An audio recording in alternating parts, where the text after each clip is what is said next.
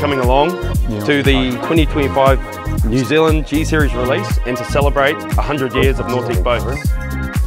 Thank you, Mike. My grandfather continued that tradition, taking, taking boats all over the world.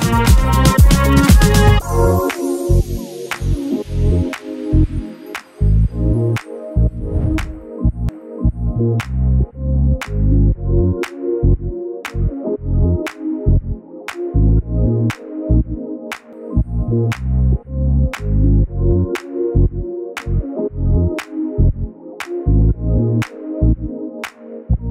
you.